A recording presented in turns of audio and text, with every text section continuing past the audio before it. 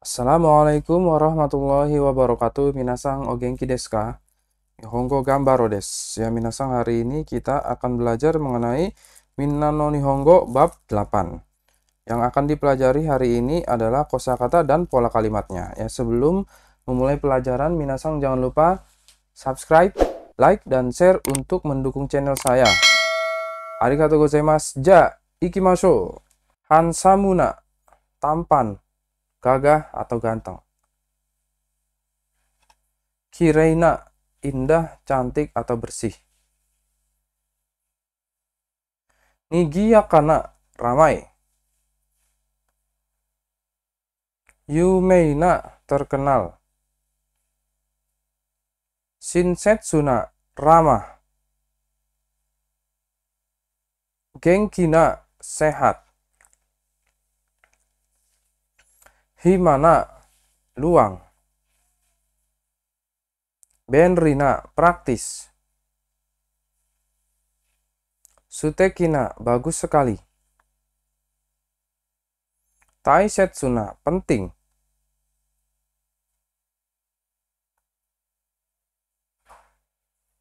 Oki, besar. Cisai, kecil. Atarasi baru Furui kuno atau lama? Maksudnya lama ini ya bendanya sudah ada da dalam waktu yang lama atau sudah sudah kuno ya minasangnya sudah ada sejak lama. Bukan lama jangka waktu tapi lama benda tersebut sudah ada dari waktu yang lama. I atau yoi bagus baik Warui, buruk atau tidak baik. Atsui, panas. Samui, dingin. Sumetai, dingin untuk benda. Perbedaan sumetai dengan samui adalah kalau samui itu dingin untuk cuaca, sedangkan sumetai dingin untuk benda. Muzukasi, sulit. Yasasi, mudah. Takai, mahal atau tinggi. Ya, bisa artinya mahal. Harga suatu barang bisa juga tinggi, tinggi suatu barang. Yasui, murah. Hikui, rendah. Omoshiroi, menarik. Oishi, enak. Isogashi, sibuk. Tanoshi, menyenangkan. Ya, kalau tanoshi adalah menyenangkan, kalau omoshiroi adalah menarik ya. Shiroi, putih. Kuroi, hitam. Akai, merah. Aoi biru. Sakura, pohon sakura. Yama, gunung. Machi, kota. Tabemono, makanan. Kuruma, mobil. Ryo, asrama. Tokoro, tempat. Benkyo, pelajaran. Seikatsu, kehidupan. Shigoto, pekerjaan. Do, bagaimana? Donna, yang bagaimana? Dore, yang mana? Totemo sangat. Amari tidak begitu.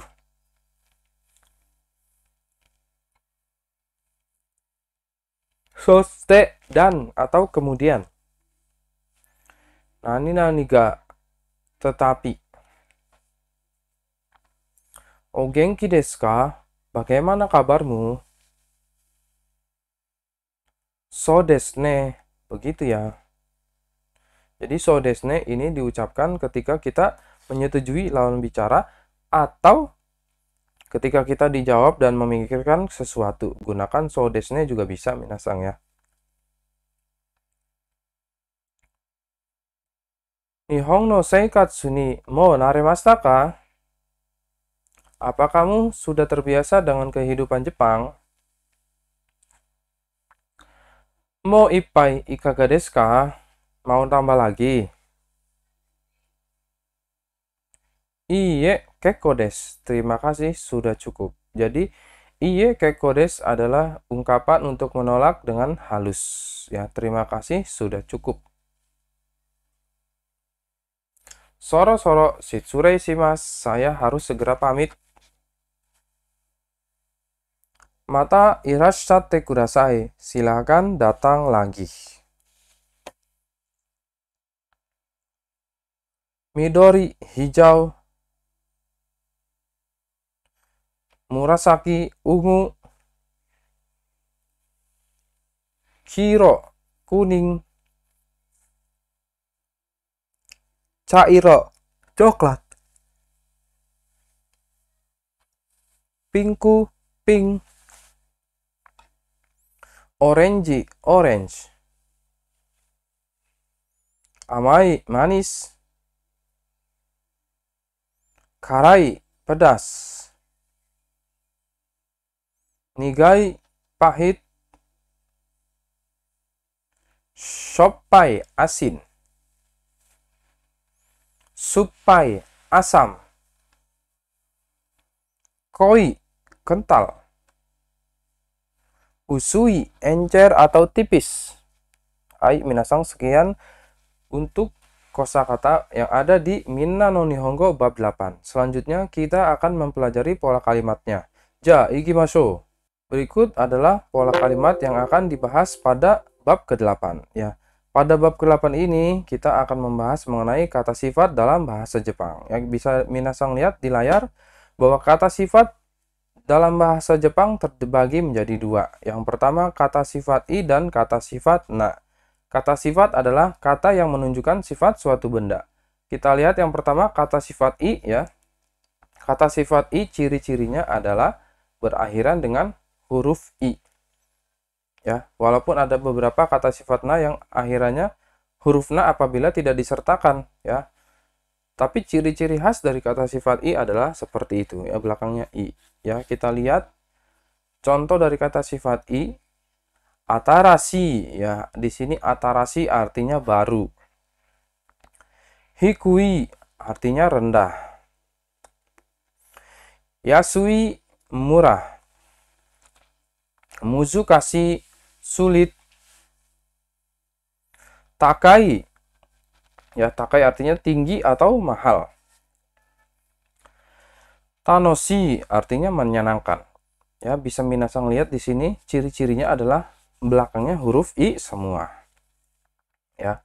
Ada banyak lagi kata sifat i yang lain ya minasang silakan hafalkan sebanyak mungkin kata sifat i ya. Harus dihafalkan karena membedakan kata sifat i dengan kata benda tidak ada rumus khususnya. Jadi harus dihafalkan satu persatu kosakata. Kita lihat kata sifat na kireina artinya indah, bersih atau cantik ya. Nanti pada penggunaannya nah ini bisa hapus bisa tidak dipakai dan bisa juga dipakai menyambungkan dengan kata benda ya. Nah itu fungsinya huruf naknya apabila dia berdiri sendiri maka huruf nanya ini hilang. Contohnya kirei menjadi kireides ya. Hima menjadi himades. Tapi apabila bertemu dengan kata benda maka kireina machi himana toki ya. Dan seterusnya nanti kita bahas di ya di page selanjutnya, di lembar selanjutnya kita lihat ya ini hima artinya waktu luang ya. Shinsetsuna ya shinsetsu artinya ramah. Benrina, nah benri artinya praktis. Genkina, genki artinya sehat. Shizukana, ya shizuka artinya sunyi atau tenang. Nah ini ya kelompok kata sifat dalam bahasa Jepang. Yang pertama kata sifat i dan yang kedua kata sifat na. Selanjutnya, kita lihat rumus yang pertama, kita akan membahas mengenai penyusunan kalimat dengan menggunakan kata sifat i ya. Pola kalimat yang pertama yaitu pola kalimat positif. Ya, yang kedua adalah negatif. Kita bahas dulu yang pertama positif. Kata benda, partikel wa, kata sifat i des ya. Di sini kata sifat i dan bertemu dengan des ya. Di sini i-nya tidak hilang minasang ya. Kalau kata sifat na apabila berdiri sendiri ya ini nanti nanya hilang ya. Kita lihat rumus yang pertama yang positif ini contoh kalimatnya. Fuji sang wa takai des. Ya, di sini Fuji sang artinya gunung Fuji minasang ya. Gunung Fuji, Takai artinya tinggi, berarti menyebutkan bahwa sifat dari Gunung Fuji ini adalah tinggi gunungnya. Berarti Gunung Fuji tinggi ya. Fuji Sangwa Takai des. Gunung Fuji tinggi. Ya, ya, kalimat yang kedua, ramen wa oishi des. Ya, di sini bisa dilihat minasangnya ramen. Ramen adalah ramen mie ya. Ramen wa ramen oishi, sifatnya enak. Berarti ramen itu enak atau ramen enak ya. Ramen wa oishi des. Ramen enak. Kita lihat contoh selanjutnya. Nasi goreng wa yasui des. Ya, di sini kata bendanya adalah nasi goreng dan kata sifatnya adalah yasui. Yasui artinya murah. Berarti sifat nasi goreng tersebut murah. Nasi goreng wa yasui des. Nasi goreng murah. Ya, ini minasang pola kalimat yang pertama yaitu bentuk positif dari kata sifat i. Ya, selanjutnya kita akan membahas bentuk negatif dengan menggunakan kata sifat i. Kata sifat i apabila ingin dirubah menjadi negatif, maka huruf terakhir dari i ters ya dari kata sifat tersebut huruf i-nya dihilangkan dirubah menjadi kunai des ya. Kalau yang ini kan kata sifat i des ya. Belakangnya des ya dengan huruf i. Kalau yang ini huruf i-nya dirubah menjadi kunai des ya. Minasang seperti ya. Misal takai menjadi taka kunai. Oishi menjadi oishi kunai. Yasui menjadi yasu kunai. Ya, ingat huruf i-nya dihilangkan. Bukan menjadi takai kunai tapi taka kunai. Ya, artinya ditambahkan tidak atau dia bukan ya. Karena bentuk negatif. Kita lihat contoh kalimat yang pertama. Watashi no uchi wa oki kunai des ya. Oki kunai kata sifat asalnya adalah oki des ya. Oki itu artinya besar. Kalau oki kunai berarti tidak besar ya. Watashi no uchi wa oki kunai des. Rumah saya tidak besar. Kita lihat contoh yang kedua. Kono kuruma wa atarashi kunai des. Ya. Kono kuruma artinya mobil ini. Atarashi kunai kata sifat asalnya adalah atarashi des ya. Atarashi artinya baru. Atarashi kunai berarti artinya tidak baru. Kono kuruma wa atarashi kunai des. Mobil ini tidak baru. Contoh selanjutnya, pang wa takakunai des. Ya, minasang pang artinya roti. Takakunai kata sifat asalnya adalah takai atau takai des ya. Takakunai maka artinya adalah tidak mahal ya. Berarti arti dari kalimat ini adalah Pang wa takakunai des. Roti tidak mahal. Ya, itu minasang mengenai kata sifat i. Ya, kata ben, rumus yang pertama dari kata sifat i. Kita lihat selanjut rumus yang selanjutnya. Kak ya. Rumus selanjutnya yaitu pembahasan mengenai pola kalimat dengan menggunakan kata sifat na. Pola kalimatnya yang positif dan negatif. Kita lihat Pola kalimat yang positif, kata bendawa, kata sifat des. Nah, di sini dilihat kata sifat nanya tidak berhubungan dengan kata benda, tapi menjelaskan kata benda. Maka, untuk kalimat seperti ini, huruf na pada kata sifat na tidak digunakan. Ya, karena kata sifat langsung bertemu dengan des atau akhir kalimat. Apabila bertemu dengan kata benda lagi, baru bisa, baru partikel nanya atau huruf nanya ini digunakan. Tapi ini karena di akhir kalimat, maka huruf nanya harus dihapus. Ya, penjelasan gampangnya mungkin apabila kata sifat na bertemu dengan des, maka nanya tidak dipakai. Kita lihat contoh kalimat yang pertama. Jakarta wa kirei des ya. Jakarta ini kota Jakarta minasang ya. Kirei, kireina ya, artinya adalah indah atau bersih. Nah, di sini karena dia ada di akhir kalimat, atau bertemu dengan des, maka huruf nanya tidak digunakan menjadi kireides. Bukan kirenades, tapi kireides. Jakarta wa kirei des. Jakarta indah. Tobi sangwa shinsetsu des ya. Di sini shinsetsu artinya adalah ramah atau baik hati minasangnya shinsetsuna. Karena berada di akhir kalimat atau bertemu dengan des, maka huruf na-nya tidak digunakan. Tobi sangwa shinsetsu des. Saudara Tobi ramah. Kita lihat selanjutnya. Tegaru sangwa genki des. Ya, saudara Tegar sehat atau bersemangat. Ya, bisa dilihat minasang genkina. Ini kata sifat aslinya adalah genkina atau genki. Karena bertemu dengan des atau di akhir kalimat, maka huruf nanya tidak digunakan. Sama dengan yang shinsetsu dan kirei minasangnya. Tegaru sangwa genki des. Tegar, sehat, atau bersemangat. Kita lihat pola kalimat yang negatif ya. Kata benda wa, kata sifat na, desnya dirubah menjadi ja arimaseng. Dan hurufnya kembali tidak digunakan minasang ya. Jadi des berubah menjadi ja arimaseng. Ya, kalau di sini Jakarta wa kirei des berubah menjadi Jakarta wa kirei ja arimaseng. Kita lihat contoh yang pertama. Kono kuruma wa yumeja arimaseng. Kono kuruma artinya mobil ini. Yumei ya, yumei des artinya adalah terkenal. Ya. Berubah menjadi yumeja arimaseng.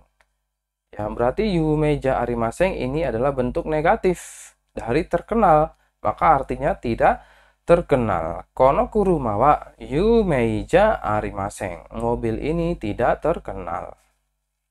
Contoh yang contoh yang selanjutnya Anto sangwa Genkija Arimaseng. Ya, kita lihat di sini Anto ya, saudara Anto Genki. Genki artinya sehat.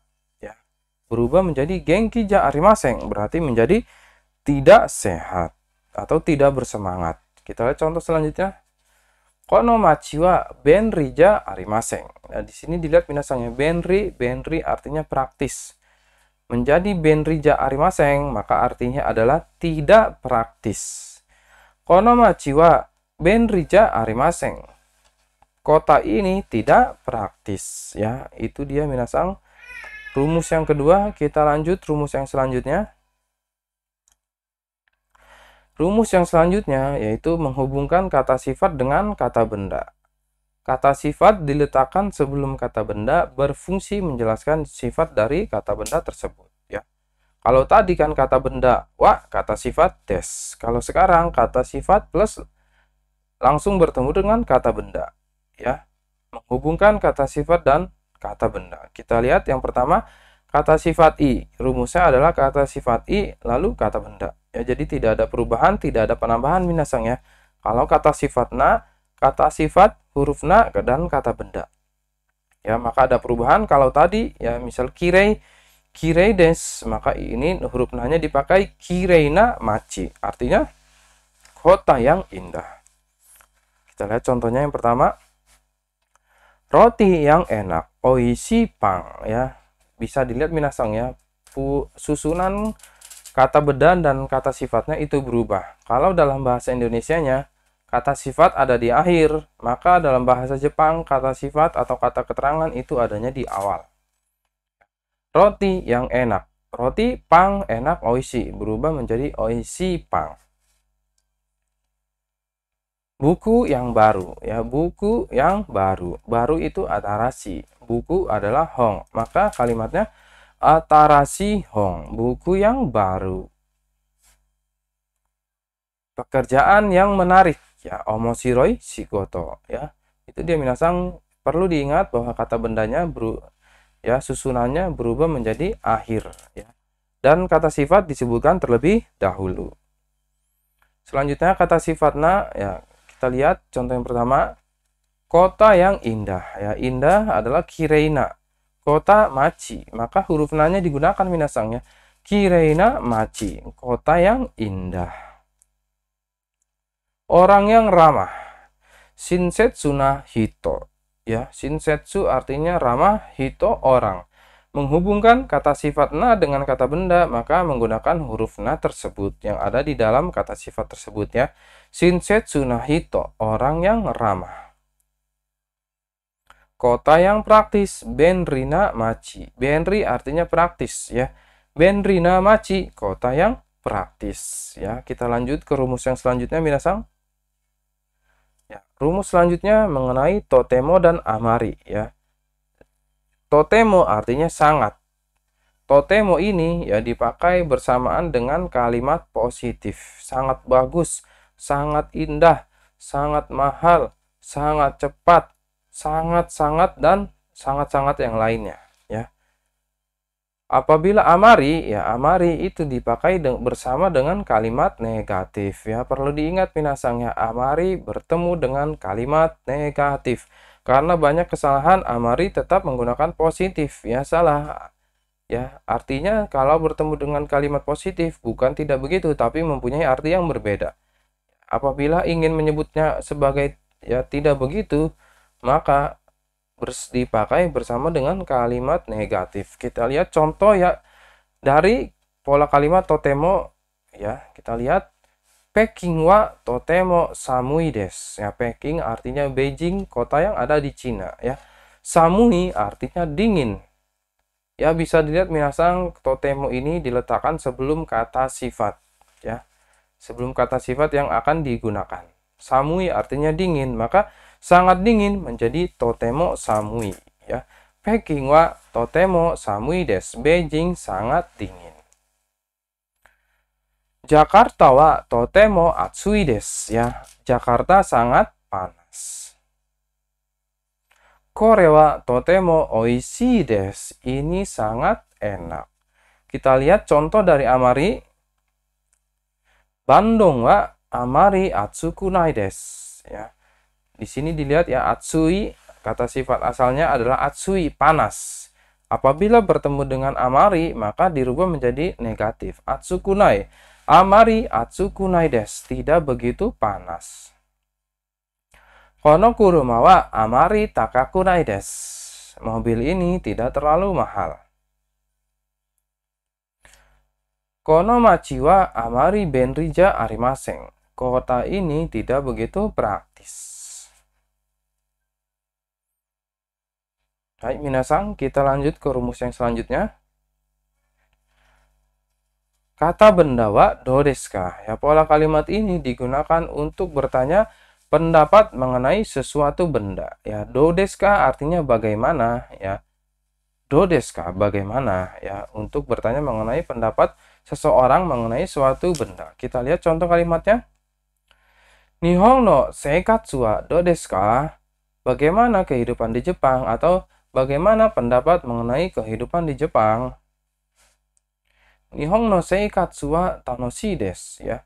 Ya di, di sini di, bisa dilihat minasang ya, do deskanya berubah menjadi tanoshi. Tanoshi artinya menyenangkan. Berarti pendapat mengenai orang yang menjawab kehidupan di Jepang itu menyenangkan. Ya, Nihon no seikatsu wa tanoshi desu. Kehidupan di Jepang itu menyenangkan. Kono ramen wa do desu ka? Bagaimana pendapat mengenai ramen ini? Kono ramen wa totemo oishi des. Ya, ramen ini sangat enak. Ya, ini dia minasang pola kalimat kata pendawa do deska digunakan untuk bertanya pendapat seseorang mengenai suatu benda. Kita lihat rumus yang selanjutnya.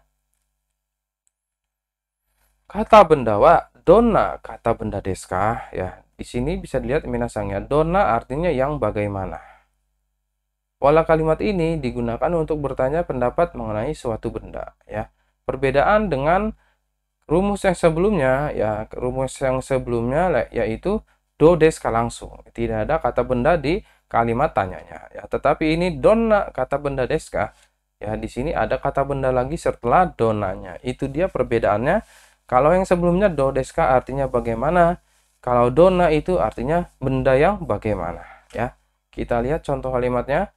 Nihon wa dona kuni desu ka? Ya, Jepang dona itu yang bagaimana, kuni artinya negara. Berarti Nihon wa dona kuni desu ka? Jepang itu negara yang bagaimana? Nihon wa kireina kuni desu. Nah, ini jawaban dari pertanyaan yang di atas minasang ya. Nihon wa dona kuni desu ka? Jepang itu negara yang bagaimana? Nihon wa kirena kuni desu. Jepang itu negara yang indah. Kita lihat contoh yang kedua. Jakarta wa donna machi desu ka? Ya, Jakarta itu kota yang bagaimana? Ya, Bisa dilihat di sini minasangnya dona bertemu dengan kata benda ya.